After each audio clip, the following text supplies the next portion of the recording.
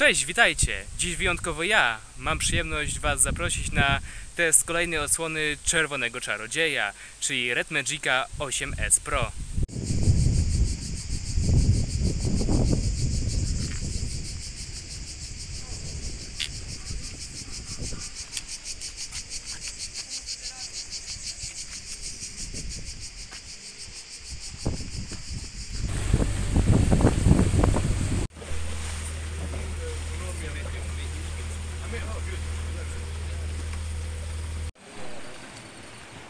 Поняла, где мы сегодня купали?